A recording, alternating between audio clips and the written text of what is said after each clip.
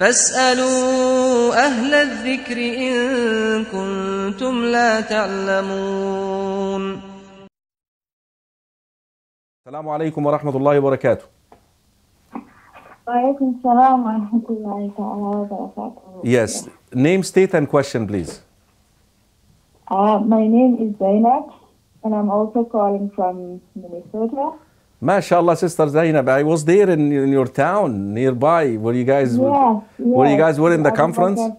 convention. Yes, I enjoyed. I enjoyed. I enjoyed the brothers and the sisters there. MashaAllah, was fun. Sister Zainab, you have a, a, a question for me? Yes, my question. Um, you know, they said um, we should not recite Quran during sujood. Okay. How about uh, for du'as that are from the Quran? Can we recite those during our sujood? Sure, I will answer your questions. Is that all you have for me tonight, Sister Zainab? That's all I have. Thank you. I will-. Yes, yes. I will- Allah expand Ameen. Ameen, Rabbil Alameen. Jazakallah khairan. I'll answer your questions, inshallah. Our sister Zainab, uh, I believe she is uh, also from Minnesota. May Allah subhanahu wa ta'ala reward Sister Zainab for uh, calling, and I enjoyed my uh, uh, time in, in Minneapolis uh, the last weekend. I was there for a convention. She's asking regarding the recitation of the Quran uh, while you're making sujood.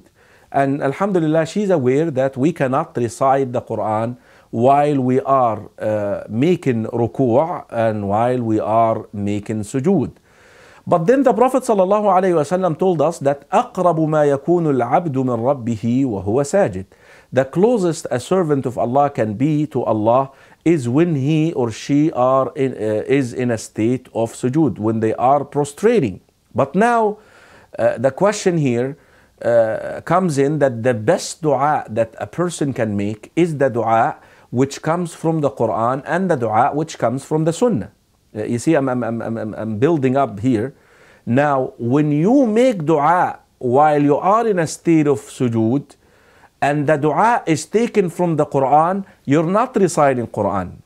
You are not reciting Quran. As simple as that. What you're doing is you are making dua. ربنا آتنا في الدنيا حسنة وفي الآخرة حسنة وقنا عذاب النار. Your intention is not the recitation of the Quran, rather your intention is making dua which was mentioned in the Quran, Sister Zainab. I hope my answer is clear to you.